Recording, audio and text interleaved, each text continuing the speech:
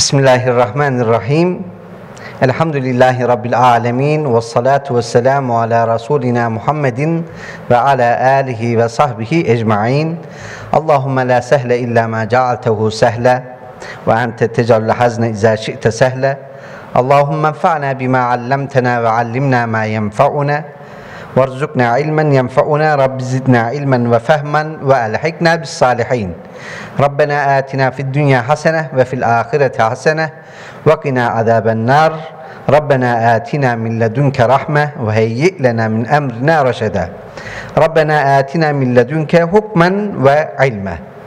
قال الشيخ الإمام الحافظ أبو عبد الله محمد بن إسماعيل ابن إبراهيم ابن المغيرة البخاري رحمه الله تعالى آمين بسم الله الرحمن الرحيم كتاب الإيمان Evet kıymetli dostlar İmam Buhari'nin sahihinden Kitabul İman'dan devam edeceğiz. Bugün Rabbim nasip ederse 23. hadisten itibaren okuyacağız. Tabi Ebu Said'in Hudri radıyallahu anh'ten nakledilen hadis-i şerif önümüzde. Oradan birlikte takip edelim. An Ebi Said'in Hudri radıyallahu anh قال قال Resulullah sallallahu aleyhi ve sellem Beynema ene naimun ra'eytun nase yuradun aleyye ve aleyhim gumus Evet sevgili peygamberimiz aleyhissalatü vesselam ben uyurken diyor beyneme ene naim ben uykudayken ra'eytun nas. Bir takım insanlar e, gördüm bana gösterildi.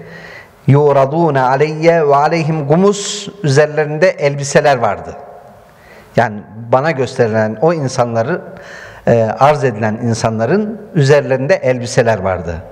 Minha ma yebluğu sudiye veya sedye kimisi o elbiselerin göğse kadar uzanıyordu.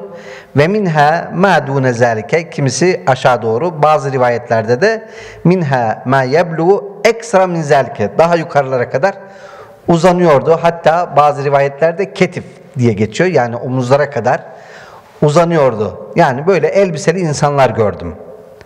Ve o rida yani bir rivayette merra diye geçiyor. Aleyye Umar ibn Hattab. Bana Hazreti Ömer de gösterildi. O Hazreti Ömer de uğradı. Ve aleyhi kamisun onun üzerinde de elbise vardı ama o elbiseyi yecurruhu böyle e, sürüyerek götürüyordu elbiseyi. O kadar uzunca, endamlı bir elbisesi vardı. Vücudunun tamamını kaplamış.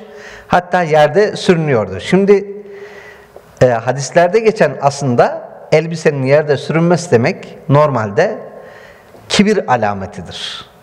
Yani bir insanın elbisesini sürüyerek gitmesi böyle endamlı bir şekilde insanların arasında yürümesi bir kibir alameti olarak geçer rivayetlerde. Ama burada bir rüyada Peygamber Efendimiz elbiseli insanlar görüyor. Kimisinin elbisesi göğüslerine kadar, kimisi daha yukarıda, kimisi daha aşağıda. Böyle farklı insanlar görüyor. Hazreti Ömer de görüyor bu arada. Hazreti Ömer de elbisesi o kadar uzun endamlı ki böyle yerlerde sürünüyor. Yecurruhu. Yerde sürünüyor. Bu şekilde görmüş Efendimiz Aleyhisselatü Vesselam. Galu demişler ki ashab-ı kiram Fema evvel tezahlike ya Resulallah. Peki bu gördüğünü Hazreti Ömer'e ait böyle bir elbiseyi, onun elbisesinin yerlerde sürünmesini ne şekilde yorumluyorsun ya Resulallah diye sorduklarında Peygamber Efendimiz eddin demiştir. Dinle yorumluyorum. Yani çok dindar, dinine bağlı bir şahsiyet olarak yorumluyorum diye Peygamber Efendimiz Aleyhisselatü Vesselam söylüyor. Bir rivayette de bunu ilimle yorumlamış. Yani zaten ilim sahibi insan dindar insandır. O ilmini uygular, hayata geçirir, hayatta tatbik eder. İlim sahibi zaten e, bizden bunu ister, dindar olmamızı ister. Eğer ilim bir insanı e, ne bileyim e, karşıdaki insanlar karşısından e, karşısında kibirli e, ve yukarıdan tepeden bakan bir noktaya götürüyorsa zaten o şeytani bir şeydir, davranıştır. Şeytan öyle değil miydi? Şeytan ne dedi? Ben ateşten yaratıldım, onlar topraktan yaratıldı dedi. Bakın en iyi bilen bir varlık olan şeytan o gün kibre daldı kendisinin ateşten, insanın da topraktan yaratıldığını iddia ederek, öne sürerek Hazreti Adem'e secde etmedi. Allah tarafından verilen bu emre itaat etmedi. Dolayısıyla melun oldu kıyamete kadar. Allahu Teala onu ne yaptı? Kendisinden uzaklaştırdı. Rahmetinden kovdu. Racim olarak geçiyor bakın. Ne diyoruz? Euzu billahi mineşşeytanirracim. Racim olan şeytandan Allah'a sığınırız diyoruz. Racim ne demek? Kovulmuş demek. Neden kovuldu? Rahmetten kovuldu, merhametten kovuldu, mağfiretten kovuldu. Cennetten kovuldu. Allah'tan uzaklaştırıldı. Allah bizi şeytan ve şeytan şerli insanların şerrinden muhafaza eylesin. Şimdi buradaki gömlek ve elbise üzerinde biraz durmak istiyorum. Tabi Peygamber Efendimiz Aleyhisselatü Vesselam bunu bir dinle e, tevil etti, yorumladı. E, buradaki eteklerinin sürünmesini, uzamasını da alimler şöyle diyorlar, onun güzel eserlerinin ebediyen baki kalması, devam etmesi anlamındadır diyorlar. Şimdi bakın ne diyoruz biz? Adil Ömer diyoruz değil mi? Hazreti Ömer gibi adil ol diyoruz. Yani Hazreti Ömer'i biz hala günümüzde dillendiriyorsak, onun adını anıyorsak, onun adaletinden bahsediyor, adaletiyle ün yaptı diyorsak, işte bu onun Efendimiz Aleyhisselatü Vesselam'ın onu dindar, ilim sahibi, irfan sahibi, hikmet sahibi olarak tanımlamasından geçer. Peygamber Efendimiz Hazreti Ömer'i işte bu şekilde tanımlamıştır. E, Araplarda da zaten gömlekle e, yapılan bu tavsifler, vasıflandırmalar o kişinin fazilet sahibi, iffet sahibi olarak geçtiğini ifade eder. Şimdi kıymetli kardeşlerim bu konuyla alakalı Peygamber Efendimiz Aleyhisselatü Vesselam'dan nakledilen bir rivayet de ben sizlere aktarmak istiyorum. O da şöyle geçiyor. Peygamber Efendimiz Hazreti Osman'a seslenerek diyor ki Ya Osman innallaha azze ve celle asa en yulbisike gamisa yulbiseke gamisa Allah sana öyle bir elbise giydirecek ki diyor. Fe in eradekel münafikun ala hal'ihi Münafıklar o elbiseyi senden çıkarmak isteseler de fela takla'hu e, sakın ha bu elbiseyi üzerinden çıkartma üzerinden elbiseyi çıkartma hatta telkani yani bana kavuşana kadar bu böyle devam etsin diyor. Bu ne demek? Hazreti Osman hem ilim sahibi hem hilim sahibi. İlim de var, hilim de var. Tevazu var. Hazreti Osman'ın o hayasına melekler hayran. Bakın hem Hazreti Ömer'deki bakın ilim ve takvayı görüyoruz Hazreti Osman'ı. Onun için Efendimiz Aleyhisselatü Vesselam sende böyle öyle bir elbise var ki diyor. Öyle bir elbise Allah sana giydirdi ki sakın o bu elbiseyi e, münafıklar çıkartmasın. Ve hakikaten Hazreti Osman idarede işte yumuşak davrandı, şöyle davrandı, böyle davrandı diyerek Hazreti Osman'ın üzerine e, gidiliyor ve Hazreti Osman e, işte e, iyi bir idare sergileyemediği için onun zamanda şöyle şöyle hadiseler oldu diyerek eleştiriliyor. Halbuki onlar cennetle müjdelenen sahabilerdir. Sahabiler hakkında bu tür yorumlar yapmak doğru değildir, bize yakışmaz, mümine yakışmaz. Allahu Teala bir insanın en iyi zamanda bile imtihan eder. Neyle imtihan edildiğimizi bilemeyiz. Bakın şu anda 6 Şubat'a geliyoruz. Bugün 2 Şubat, 4 gün sonra e, o ülkemizde ülkemizin başından geçen o depremleri yad edeceğiz. Ee, birinci yılını e, hatırlayacağız. Binlerce kardeşimiz orada şehit oldu, göçük altında kaldı. Ee, işte o kadar evler yıkıldı, o şehirler kayboldu. E bu bir imtihan. Biz ne diyoruz? Hayrihi ve şerrihi min Allahi Teala. Öyle demiyor muyuz? Hayır da Allah'tan, şer de Allah'tan. Hem böyle diyoruz hem de işte o dönemde onun zamanında şöyle şer oldu. Hani şer Allah'tandı? Hani buna inanmıştın? Sakın bakın bir insan işte başına şöyle şer geldi, işte onun bu eksikliği sebebiyle bu şer geldi diye insanları eleştirmeyin. İnsanlara kötü söz söylemeyin. O dönemlere kötü söz söylemeyin. Hazreti Osman dönemi de Hulafai Raşidin olan o parlak saadet dönemindendir. Onun için Efendimiz Aleyhisselatü Vesselam her ne kadar senin üzerindeki o güzel elbiseyi ahlak hamide sahibi olmanı eleştirseler de sen bana kavuşuncaya kadar bu tertemiz berrak elbiseni çıkartma diyerek Efendimiz Aleyhisselatü Vesselam ne yapıyor? Kendisini uyarıyor. Şimdi kıymetli kardeşlerim e, kuşlarımızı da bu arada size reklam etmiş olalım. Evimizde kuş beslemenin lezzetini tadıyoruz. Onu ifade edeyim. Yani hayvanlar hakikaten bir bereket. Kediler bereket. Ebu Hureyre'ye neden Ebu Hureyre dendi? Evinde kedi beslediği için. Ee, ona kedilere önem verdiği için. Hani bu hayvanlar bize emanettir. Allah'ın emanetleri. Şimdi e, bunu özellikle e, buraya aldım ki size bir bununla bir mesaj vermek istiyorum. Farklı renklerde de olduğu için e, o renklerin de bir anlamı var. Onu ifade edeceğim. Şimdi Araf suresinin 26. ayetine az önceki kamis kelimesinden hareketle bu mevzuya girmek durumunda hissettim kendimi. Şimdi Allahu Teala orada diyor ki Ya beni Adem Ey Adem oğlu kad enzelna aleykum libasen Allahu Teala size bir libas, elbise indirdi. Yuvari sevatikum. Bu elbise ne yapıyor bakın bizim açıklarımızı örtüyor. Ayıplarımızı örtüyor değil mi? Ayıp yerlerimizi örtüyor. Başka? Ve rişe. Riş aslında kelime anlamı kuş tüyü demek. Kuşun tüyü. Şimdi meseleyi anlayın diye işte bu kuş fotoğraflarını koydum e, e, rahatlıkla kavramak adına. Riş kelime anlamı ne? Kuş tüyü. Peki kuşun şimdi tüylerine bakın. Kimisi sarı, kimisi mavi, kimisi işte farklı farklı renklerde kuşlar görüyorsun değil mi? Allahu Teala o kadar güzel e, yeşil renkli kuşlardan bahsetmiştik geçenki dersimizde hatırlayın. O tüy neyi ifade eder? Süsü, zineti ifade eder. Allahu Teala bize hem ayıp yerlerimizi örtmek hem de bu elbiselerle insanların karşısında daha düzgün, daha dikkatli, tıpkı bu kuşların tüyleri gibi daha çekici, daha albenisi olacak şekilde çıkmamızı adeta arzu ediyor. Mescide girdiğinizde zinetlerinizi takının diyor ya ayette. Mescide her girişinizde tertemiz elbiselerinizle gidin diyor.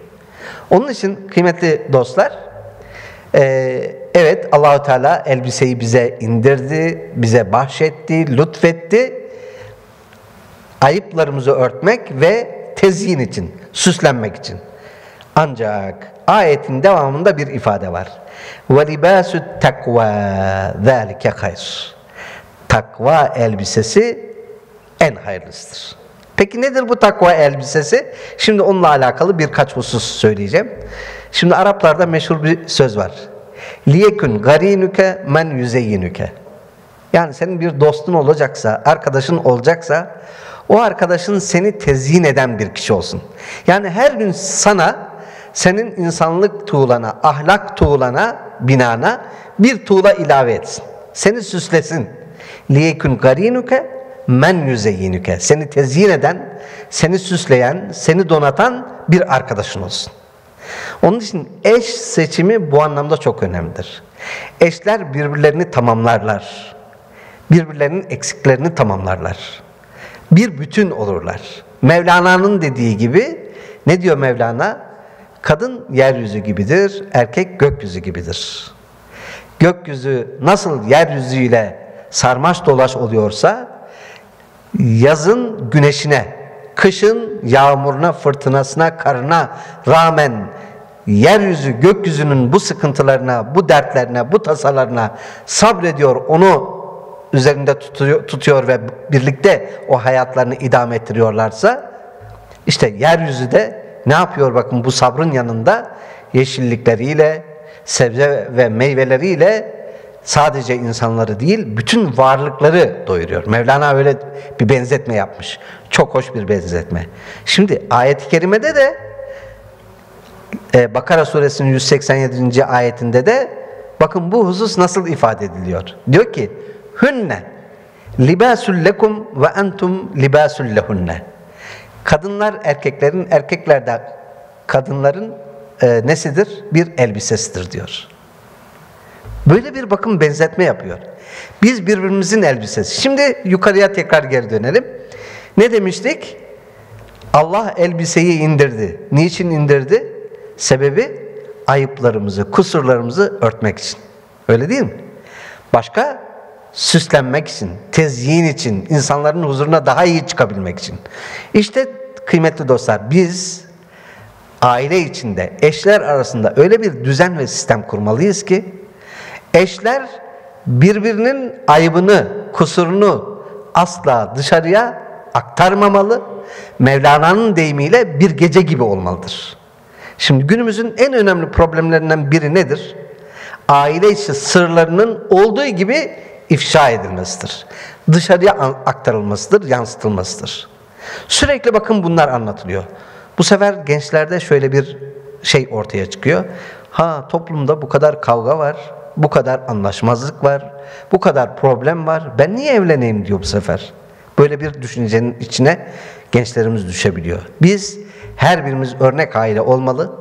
Çocuklarımıza, evlatlarımıza, gençlerimize ve o örnek aileler birbirinin elbisesi olarak birbirinin ayıp ve kusurlarını örtmenin yanında birbirinin süsü olmalı ve o ailedeki ahengi, e, güzel yaşayışı, örnek yaşayışı tüm topluma sunabilmelidir.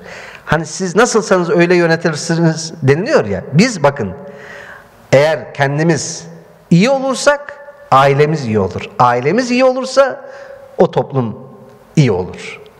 O toplum iyi olursa devletler de iyi olur. Yani biz aleyküm enfüseküm ayetine riayet ederek bizim öncelikle kendimizi ne yapmamız gerekiyor? Tezyin etmemiz gerekiyor. Hani e, şöyle bir söz var. Selamı ifşa et, sırrı ifşa etme. Selamı yay aranda. Ama sırrı asla. Selamlaşmada gündüz, sır tutmada da gece gibi ol. Orucunu tut, nefsini tut, sırrını tut, dilini tut, özünü tut, sözünü tut. Ama servetini sakın elinde tutma. Onu başkalarına e, aktar, ver. İşte o zaman mutluluğu yakalarsınız diyor. Peygamber Efendimiz Aleyhisselatü Vesselam'ın değerli eşi Hazreti Ayşe annemiz asla Peygamber Efendimiz'in hiçbir sırrını bir başkasıyla ben paylaşmadım diyor. Allah'a ulaşıncaya kadar da asla paylaşmam diyor. Sır tutmak çok önemlidir. Hele eşler arasındaki sır o anlamda çok önemli. Onun için Efendimiz Aleyhisselatü Vesselam eyyümem, ra'etin mâtet ve zevcuha anha radın dekaletil cennet diyor. Herhangi bir kadın eğer eşi kendisinden razı olmuş olarak vefat edecek olursa kesinlikle cennette Efendimizin ifadesine göre. Onun için e, birbirimizin sırlarını tutacağız. Birbirimize birbirimizin ayıp ve kusurlarını inşallah örteceğiz. Hadis-i şerifte zaten o ifade ediliyor. Kim bir Müslümanın ayıp ve kusurunu örterse Allah da onun kıyamet günündeki ayıp ve kusurlarını örter. Şimdi Hazreti Ömer'den bir miktar e, bahsetmek istiyorum. Çünkü Efendimiz Aleyhisselatü Vesselam onun dini yaşantısının rüyalarına kadar girecek kadar önemli olması ve onun ilminin, bilgisinin, ileri görüşlüğünün rüyalarına kadar girip Efendimizin rüyasında elbisesi uzun ve böyle yerlerde sürünürcesine ihtişamlı bir şekilde olmasını bizim kısaca değerlendirmemizde yarar var. Biliyorsunuz muvaffakat Ömer diye bir konu var. Nedir muvaffakat Ömer? Daha vahiy inmeden Hazreti Ömer bir takım taleplerde bulunuyor, isteklerde bulunuyor. O doğrultuda vahiy iniyor. Ona muvaffakat Ömer deniliyor. Yani Hazreti Ömer mesela ezan meşru olmadan önce e, bir rüya görüyor. E, Efendimiz'e tam anlatacak. Tam o sırada Abdullah bin Zeyd geliyor. Ya Resulallah bir rüya gördüm diyor. Ezan da duydu, duyduğumuz kelimeleri Allahu Ekber, Allahu Ekber, Eşhedü en la ilahe illallah, Eşhedü en la ilahe illallah tek tek böyle okuyunca Hazreti Ömer daha henüz Efendimizle paylaşmadan önce bakın o içinde e, e, yaşadığı o duyguları paylaşmadan önce ne oluyor bakın orada bir muvaffakat meydana geliyor. Yani bu bir nevi vahidir zaten. Allahu Teala bunu bu şekilde arzu etti ve bize ezan işte bir sahabinin gördüğü bir rüya üzerine e, bize kadar ulaştı geldi. Şimdi ben az önce bahsettiğim şey ayetlerin inişiyle alakalı. Çünkü bizzat Hazreti Ömer diyor ki Vakaftu Rabbi Azze ve Celle fi erba'in diyor. Dört hususta bazı rivayetlerde üç diye geçiyor ama bu dört rivayeti daha güçlü bir rivayet. dört konuda Rabbime muvaffakat ettim diyor. Bizzat kendisi söylüyor yani. Nedir o e, Hazreti Ömer'in bizzat söylediği konular? Ee, birincisi bir gün dedim ki e, makam İbrahim'de bir namazgah edinseniz ya Resulallah diye söylüyor ee, ve Bakara suresinin 125. ayeti e, iniyor. Vettekizu min makami İbrahim'e musalle. Makamı e, yani İbrahim'de bir namazgah edin diye kendisine vahiy iniyor. Bir diğer husus diyor ki ya Resulallah diyor eşlerinle dışarıdan gelen misafirler arasında bir perde koysan çünkü içi, e, içeriye odanıza iyi insanlar da giriyor kötü niyetli insanlar da giriyor diyor. Bunun üzerine Allahu Teala ve izâ se'eltumuhunne meta'an fes'eluhunne min vera'i hicab diye bakın hani bir perde çek e, talebini Allahu Teala sanki Hazreti e, Ömer'e muvaffakat ederek e, bu ayeti indiriyor. Aralarına bir perde çek şeklinde. E, bu da Ahzab suresinin 53. ayetinde. Sonra kadınlar bir araya gelmişler. Peygamber Efendimiz Aleyhisselatü Vesselam'ın kıskanmalarından dolayı aralarında bir takım tartışmalar e, yapıyorlar. E, hatta Peygamber Efendimiz Aleyhisselatü Vesselam Hazreti Hafsa ve Ayşe annemize kızıyor. İşte babalarıyla konuşuyor. Hazreti Ömer, Hazreti Ebubekir'le falan konuşuyor. Bunun üzerine Tahrim Suresinin 5. ayeti iniyor.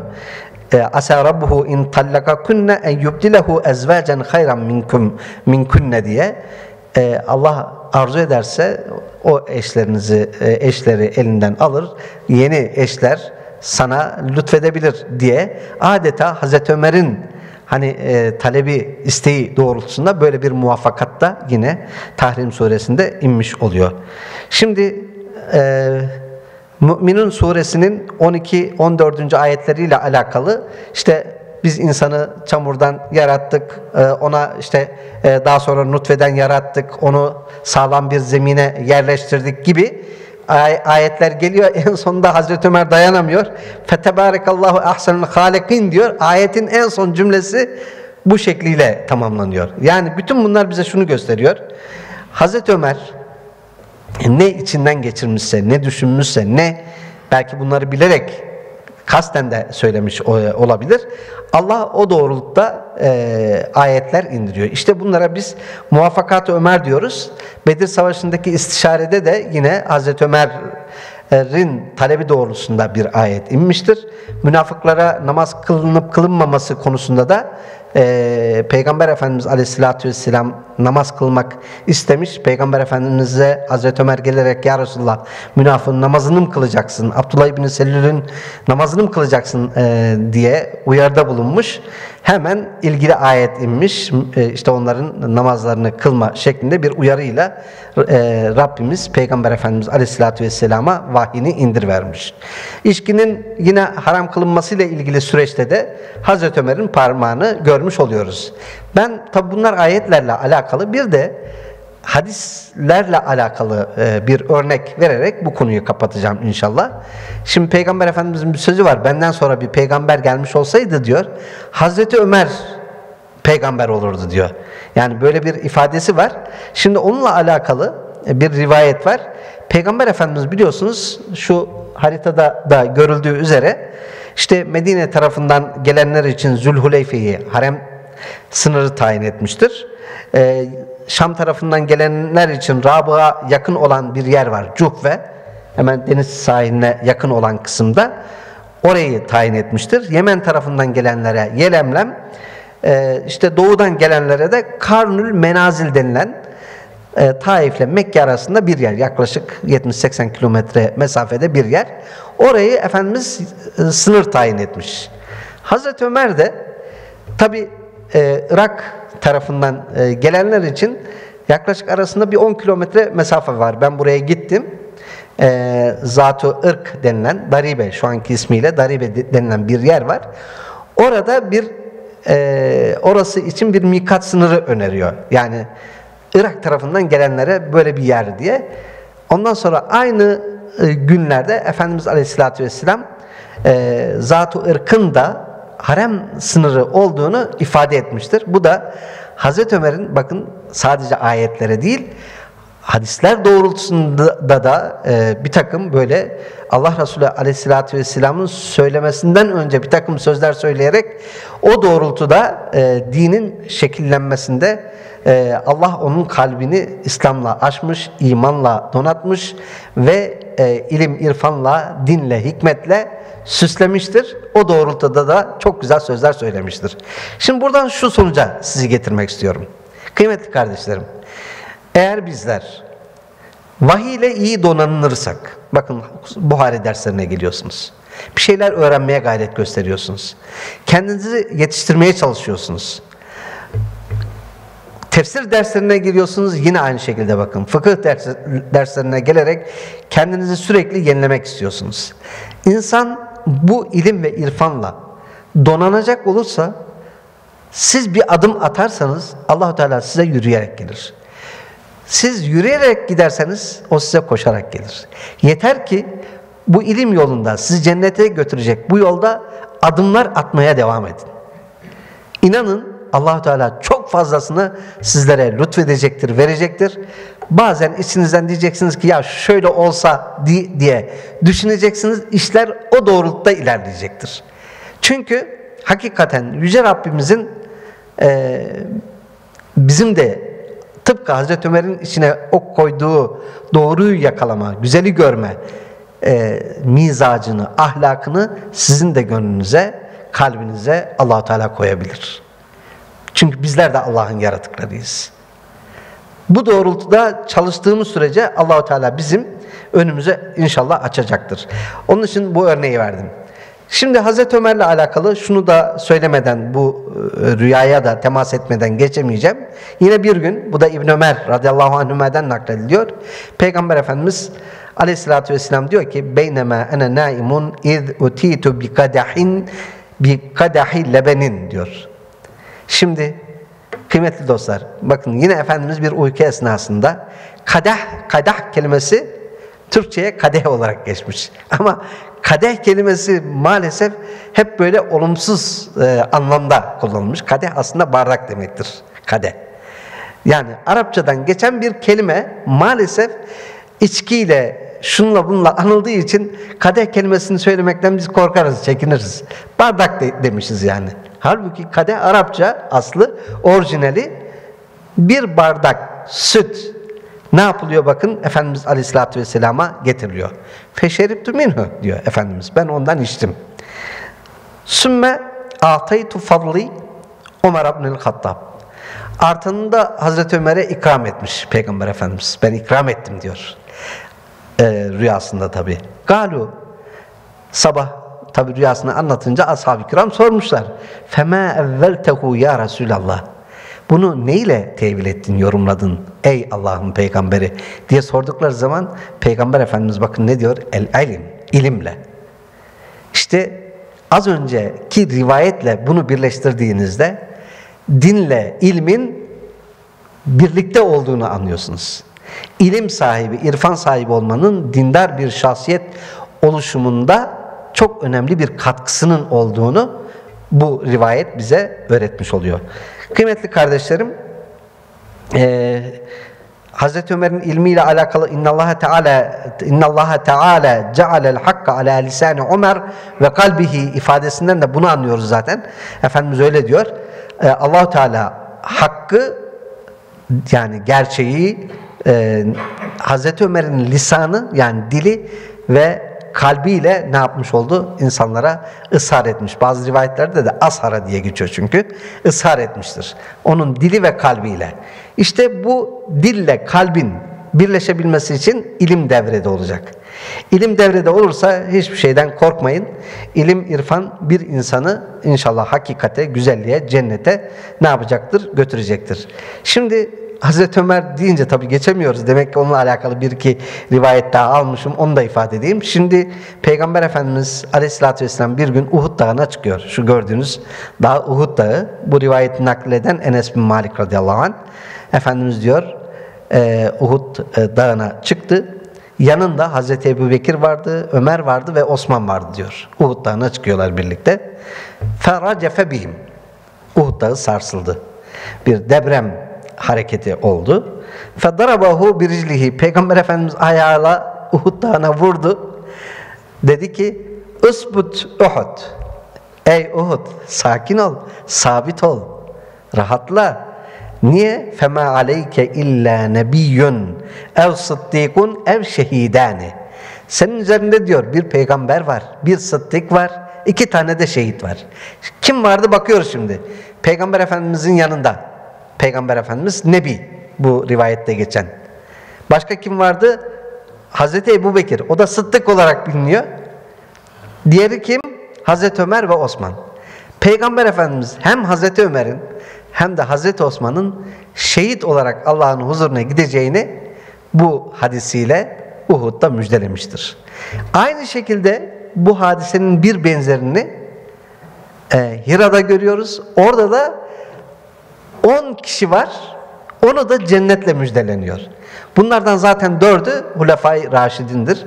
Onun için az önce sohbetimizin bir kısmında da ifade ettiğimiz üzere sakın ha dört halife başta olmak üzere işte e, cennetle müjdelenen sahabiler e, ve Efendimiz Aleyhisselatü Vesselam'ın enser muhacirin tüm e, ashabına asla söz söylemeyin söz söyleyenleri de uyarın çünkü onlar radıyallahu anhum ve radu an diye bizzat Allah tarafından kendilerinden razı olunmuş ve Allah'ın da onlara rıza gösterdiği kişiler olarak tanıtılmışlardır. Bu hususa özellikle dikkatlerinizi çekmek istiyorum. Şimdi Peygamber Efendimiz bir gün ne diyor bakın vellezi nefsi biyedihi ma lakiyeke şeytan saliken feccen kat illa seleke feccen gayre feccik.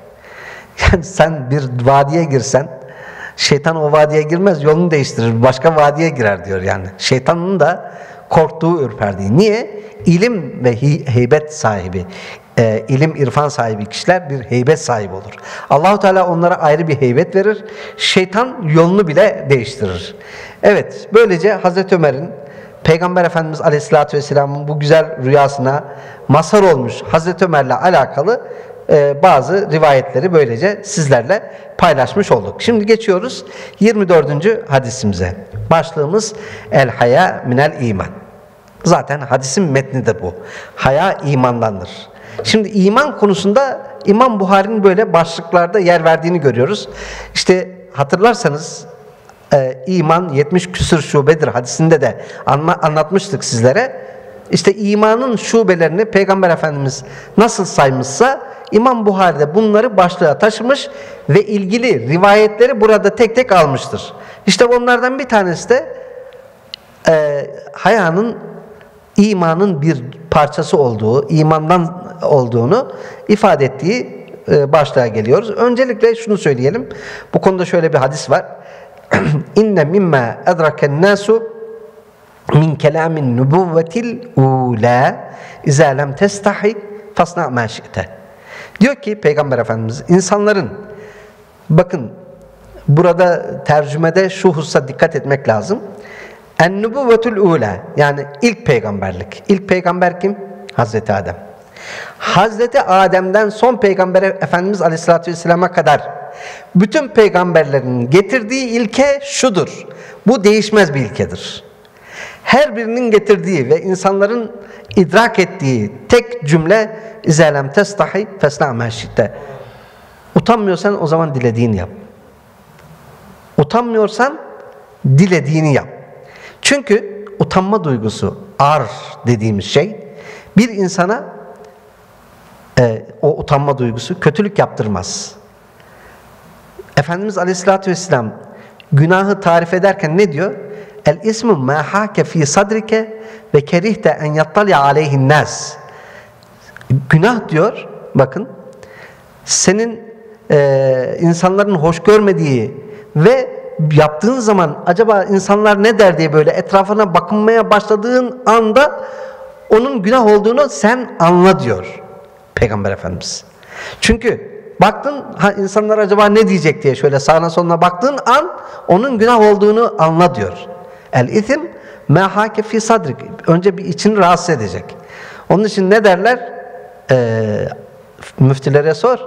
E, akabinde fetvayı vicdanına sor. Vicdanına bir danış. Ve in eftakel muftun. Müftüler fetva verse de buraya bir danış bakalım. Burası rahat mı? Huzurlu mu? Burası çok önemli. Vicdanın rahatsızsa içini tırmaya, tırmalayan bir şeyler varsa yanlış yapıyorsun demektir. Bir şey yapıyorsun, acaba beni gören var mı etrafımda, yanlış yaptığımı fark eden var mı diye böyle bir içinde his varsa bil ki o günahtır. Şu halde işte o ar denilen, ar damarı çatlamış derler ya, hani hayasız anlamında, e, o ar dediğimiz haya duygusu bize güzel şeyler yaptırır. Mevlam bize nasip etsin. Hazreti Osman'ın huyudur. Çünkü Peygamber Efendimiz öyle diyor. İnne Osman raculun hayiyyun diyor. Hazreti Osman hayalı bir insandı. Testahi minhul melaike. Melekler bile ondan haya ederdi. Ne güzel. Meleklerin bile haya ettiği Hazreti Osman. Allah her birinden razı olsun. Bakalım 24. Buhari hadisimiz neymiş? Birlikte e, bir, okumuş olalım. An Salim İbni Abdillah an ebihi. Salim burada İbn Ömer, Abdullah İbn Ömer'in oğlu Salim. Yani Hazreti Ömer'in torunu. O babasından naklediyor İbn Ömer radıyallahu anhümeden. Diyor ki enne Resulullah sallallahu aleyhi ve sellem merra ala raculin minel ensar. Peygamber Efendimiz aleyhissalatü vesselam ensardan birinin yanına uğradı. Ve huve yaizu ahahu fil haya. O da kardeşine haya noktasında vaazı bulunuyordu. Şimdi haya noktasında bir insan nasıl vaazı bulunur? Normal şartlar altında hayalı davran, işte edepli davran, e, sakın ha böyle kötülük yapma falan tarzında e, vaaz nasihatte bulunur değil mi? Haya noktasında. Ama buradaki anlam çok farklı bakın. Ona dikkatinizi çekmek istiyorum özellikle. Adam çok hayalı, ona haya dersi. Yani bu kadar hayalı olunmaz ya. Biraz şöyle gözü açık ol. Daha girişken ol. Anlamında bir uyarı bu. Vaaz. Ona dikkat edelim. Yoksa haya hayalı olman gerekir anlamında değil. Haya timsali bir insana oradaki kişi ne yapıyor? Ee, bir takım nasihatte bulunuyor. Biraz şöyle girişken ol. İş bitir, iş kopar. Yürekli ol, koştur, insanların arasına gir. Bu kadar utangaçlık fazla tarzında böyle uyarılarda bulunuyor. Peygamber Efendimiz diyor ki bakın fekala Resulullah sallallahu aleyhi ve sellem da'hu onu bırak. Fe innel hayâ'e minel iman. Haya imandandır. Bir adam hayalıysa hiç endişe etmeyin, korkmayın. Edepliyse hiç korkmayın. Bu çok güzel bir haslet. Şimdi bakın diğer rivayet az önce okuduğumuz metni, bu da Buhari hadisi ama ileride gelecek, açıyor. Yani ne demek istediğini daha net anlıyorsunuz. Merra Resulullah sallallahu aleyhi ve sellem bir acun. Peygamber Efendimiz bir adama uğradı, yanına uğradı. Ve huve yuatibu ehahu. Şimdi az önce ne demişti? Yaizu ehahu. Vaaz ediyor, nasihat ediyor demişti. Burada o kelimeyi açıyor işte, kapalılığı. Ne diyor bakın? Yuatibu ehahu. Kardeşini yani e, bu yuatibu kelimesi azarlayarak uyarmak demektir. Yani sen ne yapıyorsun ya? Yanlış yapıyorsun. Bu kadar haya olur mu? diye böyle yüksek sesle uyarmak, azarlamak anlamlarına geliyor. Haya noktasında böyle kendisini azarlıyordu. Yakul inneke ve şöyle diyormuş. İnneke le testahi hatta keennehu yakul kad azarra bike. Sen bu kadar hayal davranıyorsun. Sen kendine bu kadar zarar veriyorsun. Böyle yapma ha diye uyarıyor. İşte bunun üzerine Peygamber Efendimiz böyle demiştir. Onu bırak.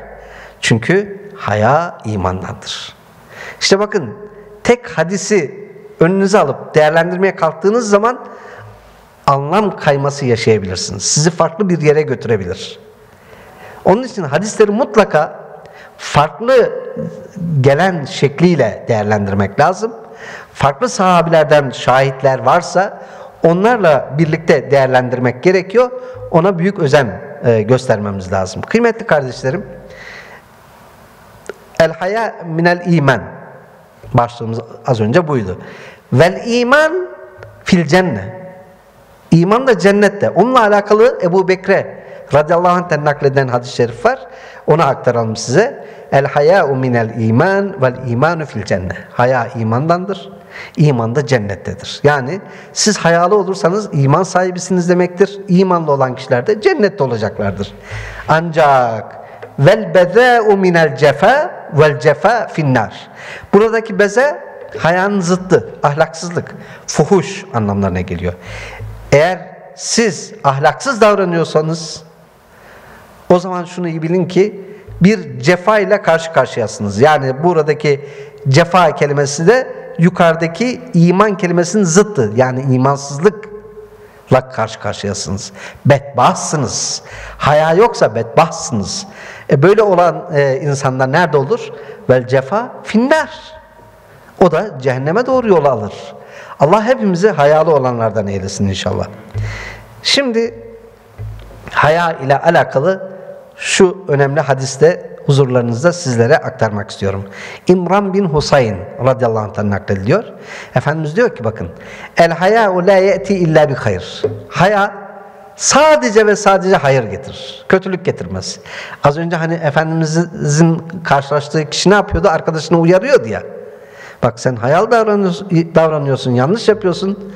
Bak sana kendine zarar verir daha sonra bu diye uyarıyor diye. İşte Efendimiz Aleyhisselatü Vesselam bakın haya sadece hayır getirir. Haya şer getirmez diyor. Haya kötülük getirmez ardından. Şimdi Büşeyr İbni Kâb diyor ki bu tabiinden, tabiinin ileri gelenlerinden Basralıdır. Mektubun fil hikme hikmet kitaplarında yani hani güzel ahlak, edep, ahlak, felsefe kitaplarında inne minel e, hayai vakaran ve inne minel hayai sekineten. İşte hayanın bir kısmında vakar vardır, bir kısmında sekinet vardır. Haya şöyledir falan tarzında okuyunca hemen İmran bin Hüseyin devreye giriyor. Az önce hadisimizin ravisi, hemen önümüzdeki hadisin ravisi. O haddisüke an Resulillah sallallahu aleyhi ve sellem. Ben sana Allah Resulü'nden bahsediyorum. Sen kalkmışsın diyor. Ve tuhaddisuni an sahifetik. Öndeki sayfadan bahsediyorsun. Yani öndeki defterden, kitaptan bahsediyorsun. Hikmet isimli eserinden bahsediyorsun. Ben Allah Resulü'nden bahsediyorum diyor. Allah Resulü haya sadece ve sadece ne getirir? Hayır getirir. Yoksa hayanın bir kısmında şu vardır, bir kısmında bu vardır diye hayayı tasnif etme diyor. Haya sadece hayır getirir ve bizi cennete götürür. Haya bu kadar önemli. Onun için haya ile ilgili birçok tabi ve zıttıyla ilgili ayetler var. Kısaca onları da huzurlarınıza inşallah takdim edeyim. İnna Allah la ya'muru bil fahşe. Fahşa hayanın zıttı. Allahu Teala hayasızlığı asla emretmez. İnna Allah ya'muru bil adl. Her zaman hutbelerde dinlediğiniz Nahl suresinin 90. ayetini düşünün bakın. Ne diyor? İnna Allah ya'muru bil adl. Allah Teala adalet emreder. Başka?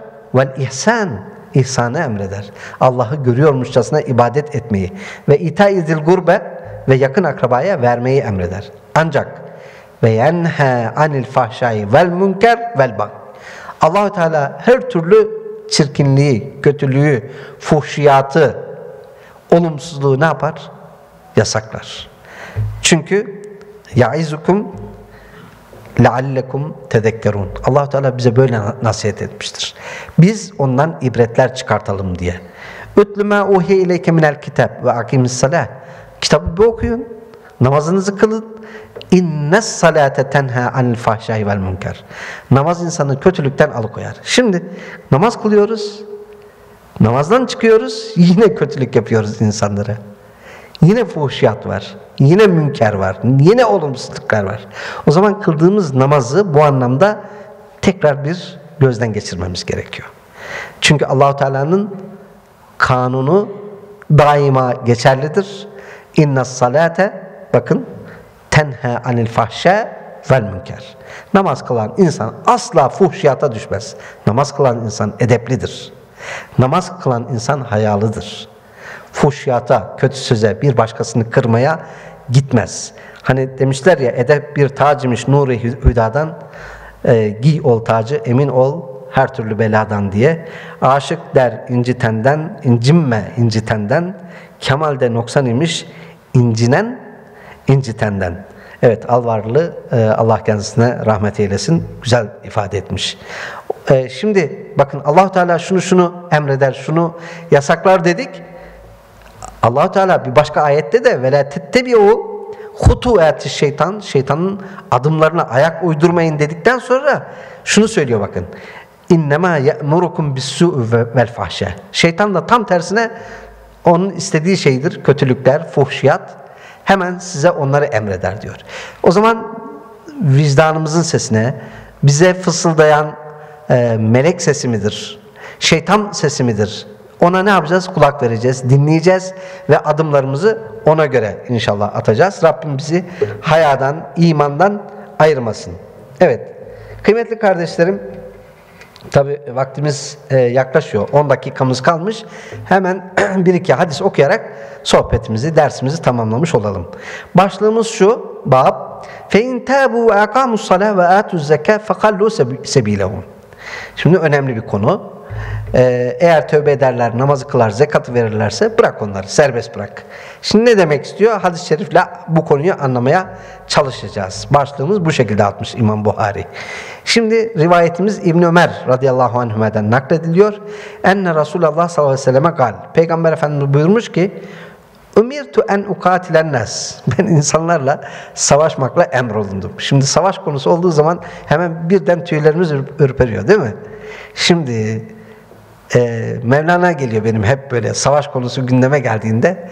Mevlana çok güzel kavramış savaş konusunu.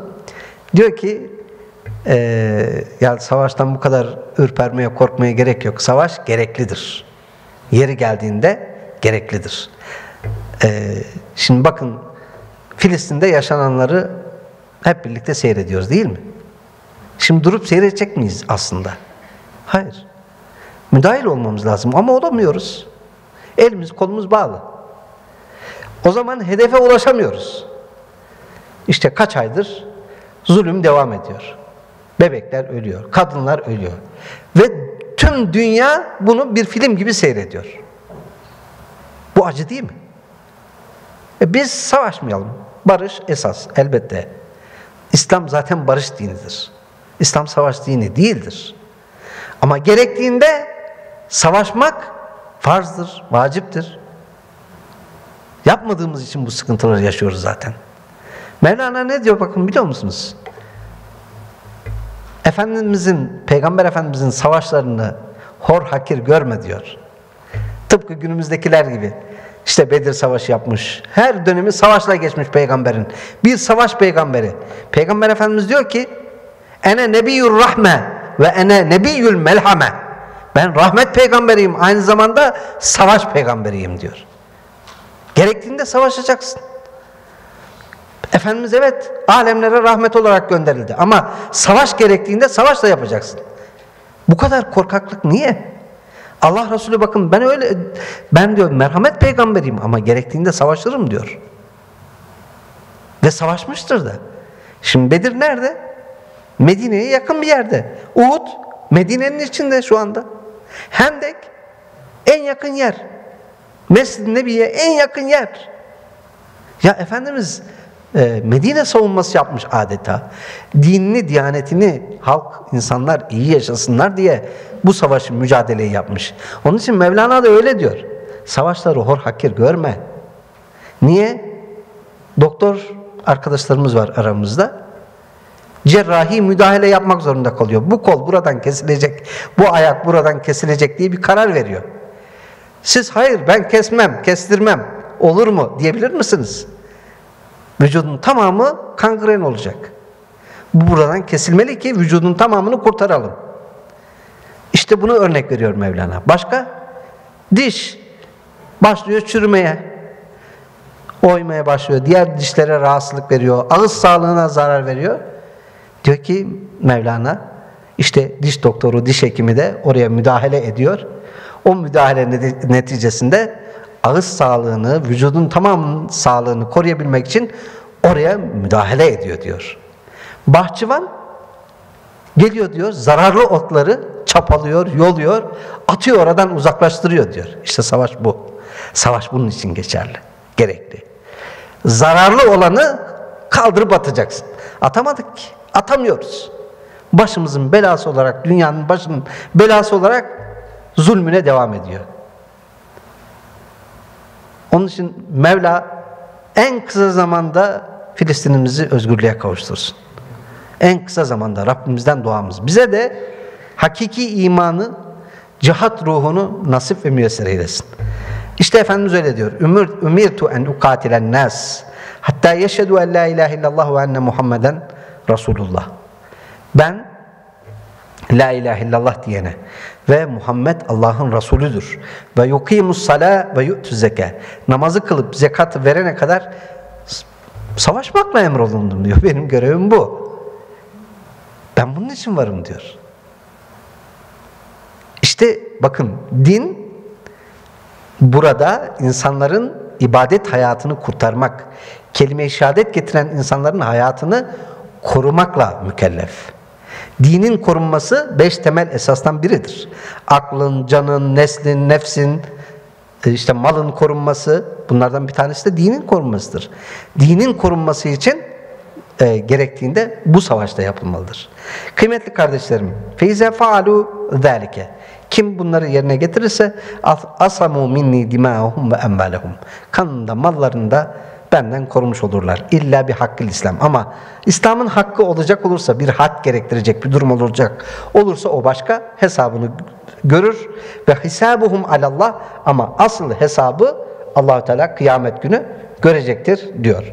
Tabi e, bu hadis-i şerifle e, tamamlayalım. Çünkü bundan sonra göreceğimiz 26. hadis-i şerifimiz kısa ama e, üzerinde tabi yorum yapılması gereken e, hususlar var. Ben 26. hadiste inşallah bırakmış olayım. Yani başlığımız hani arkası yarın diye bir şey var ya geleceğe size e, hazırlamak adına kısaca e, ifade edeyim. İman amel ilişkisi. Yani yaptığımız şeyler, amellerimiz. İmanın bir parçası mı? İmanın bir gereği mi? Amel, iman amelden bir cüz mü diye tartışmalar var ya. O konulara birazcık girmiş olacağız. Onun için e, hadisi okumamız yetmeyecek. E, ben bu soruları gelecek dersimizde göreceğimizi ifade ederek huzurlarınızdan ayrılıyorum. İnşallah Rabbimizi imandan, cihat ruhundan, ibadet ruhundan ayırmasın. Her namazın hani arkasında Efendimizin öğrettiği bir dua var ya, e, Peygamber Efendimiz hemen selam verir vermez e, beni ibadet eden, seni zikreden, şakirin kullarından eyle anlamına gelen dua e, biz de her sohbetin arkasında bu anlamda bir dua ile de tamamlamış olalım. Rabbimiz bizi ilimden, irfandan, hikmetten ve öğrendiğimiz bu ilimle de e, amel etmekten bizleri bu güzel yoldan ayırmasın inşallah. Ve burada toplandığımız gibi inşallah cennette de Mevlam bizi Peygamber Efendimiz Aleyhisselatü Vesselam'ın Livaul Hamd sancı altında Havuz Kevser'in yanı başında toplananlardan eylesin. Zahmet edip buralara kadar geldiğiniz için e, her birinize şükranlarımı sunmak istiyorum. Allah her birinizden razı olsun. Ee, inşallah sonraki derslerimizde, hadis derslerimizde tekrar sizlerle birlikte oluruz. Allah hepinizden razı olsun. Lillahi Teala'l Fatiha.